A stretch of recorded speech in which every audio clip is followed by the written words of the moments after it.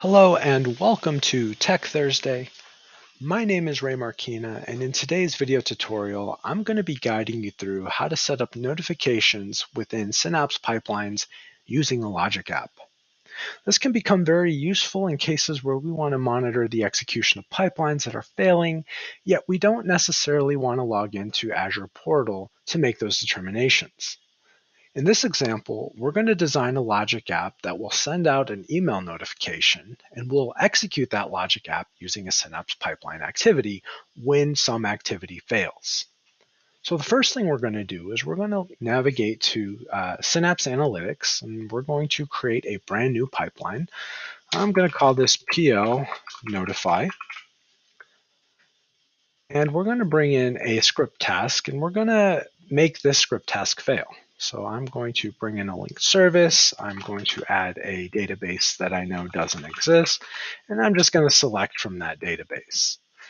Now, when I run this, again, I have every expectation that this is going to fail, but let's imagine that this is a critical process and we instantly want to be notified as soon as this activity fails. Well, we could go to Azure Monitor and we could see that it has failed, but maybe a better way of doing this is by way of using a Logic app to get an email notification. That's exactly what we're going to do next. So if I navigate over to a Logic app that has been provisioned, what we're going to want to do is go under workflows and click add. So we're going to add a new workflow. We'll give it a name. We'll specify the state type, and I'll just grab the first one here called stateful and click save. Now, once this is saved, we can go into that workflow and we can start designing.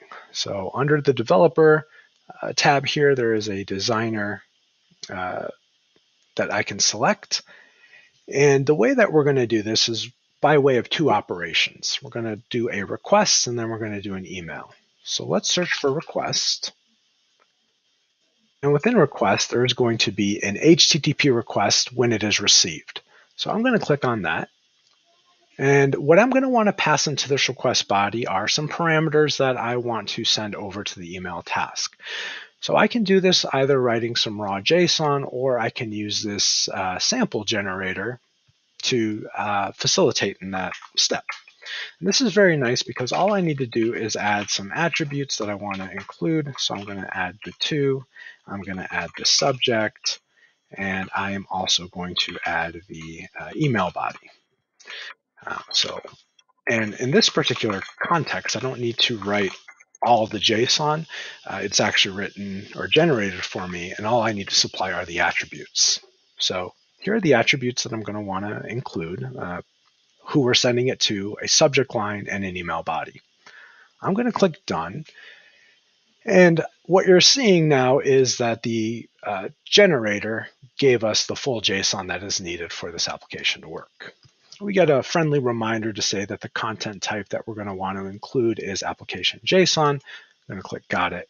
And then we're going to go on configuring the uh, HTTP request. So we're going to say that this is a method and that this is going to be a post method. Now the next step that we're going to want to do is configure our email. So I am going to search for Office 365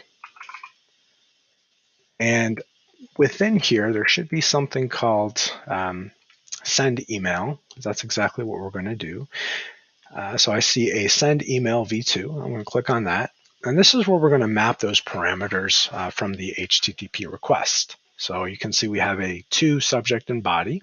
So if I click in the text box, I get a pop-up that comes in and um, there's this uh, gray bar that says see more. And this is where I'm going to pass in my parameters. So to is going to map to 2, subject to subject, and my body is going to map to the email that um, I also created. So now that we've mapped our parameters, I'm going to go ahead and save this logic app. And this is going to now allow us to configure our pipeline to use this logic app. Now, before we do that, we are going to need to get the um, post URL. So I'm going to copy this URL and navigate back into my pipeline. And I'm going to bring in a brand new activity. Additionally, I'm going to create three new parameters. So basically the same ones that you saw, to subject and email. And I'm going to specify values here. Now, ultimately, we're going to want to, when you're developing, you're going to want to do this uh, maybe through some metadata driven application, maybe like a control table so that you're not hard coding. But for this demonstration, we're just going to hard code these values. I'm going to say your pipeline has failed. And we're going to um, send the body of uh, this is a test to, um, to let you know that your pipeline failed. Okay, so now that we've configured those parameters, we can now um, configure the rest of our activity, our web activity. So we are going to post in the URL that we copied. We are going to set the method as post. We are going to uh, set the header, the content type as application JSON. So let me go ahead and copy this over here. So we'll say content type, and we will say application JSON paste that in.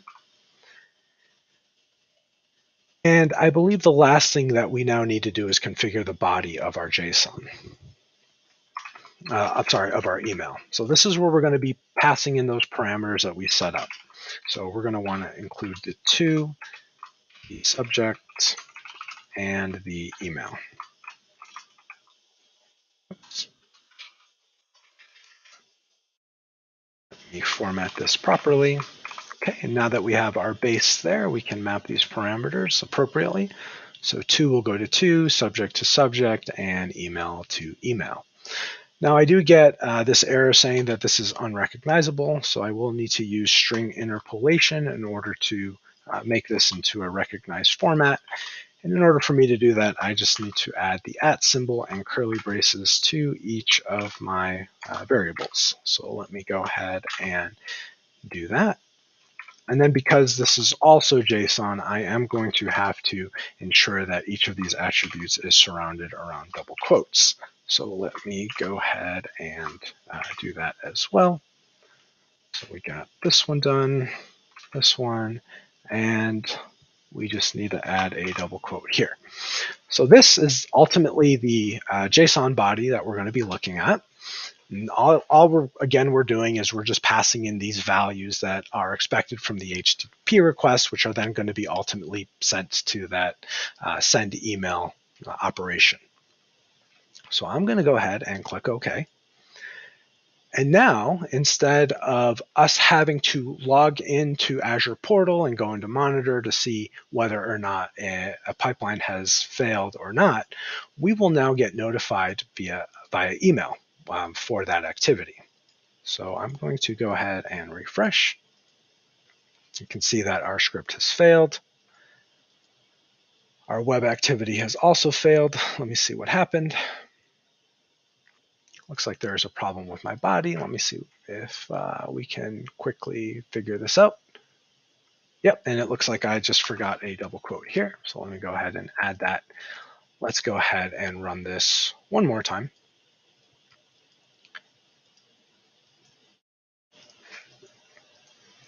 So I'm allowed one error per demonstration. So this will be my one error. So again, the script task we expect to fail. And after the failure has occurred, our web app should succeed. And you can see that it does. It is 312. And if we look at our email, 313, we have now received a brand new email letting us know that our activity has failed. And now we have the know-how or we have the ability to go in and remedy the application. Now, this is just a uh, very simple application, but you might want to pass in better metrics such as pipeline ID, run ID, things of that nature that are going to be better utilized to help you troubleshoot the issue. So that is going to conclude our tutorial for today. I hope you learned something of value. Thank you so much for tuning in, and we're going to see you in the next one.